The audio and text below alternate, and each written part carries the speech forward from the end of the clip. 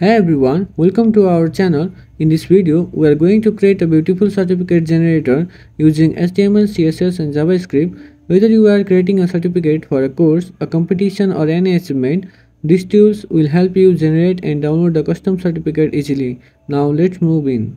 Source code is in description. Now segment 1 HTML structure. First, let's look the basic HTML structure of our project. Here HTML structure is created by just typing exclamation sign on VS Codes.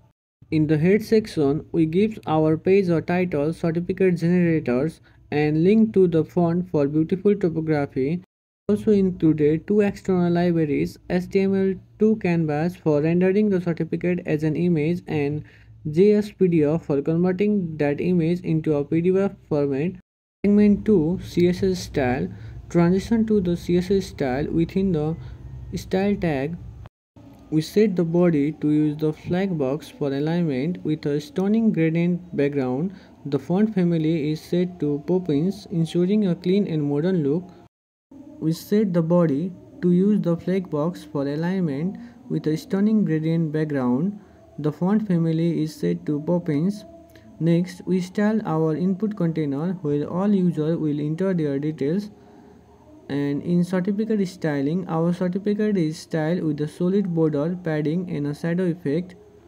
The segment 3 input form here the input form where the user can enter the certificate details. Here is a participant name project name college name. Now let's look at the certificate section which is initially hidden.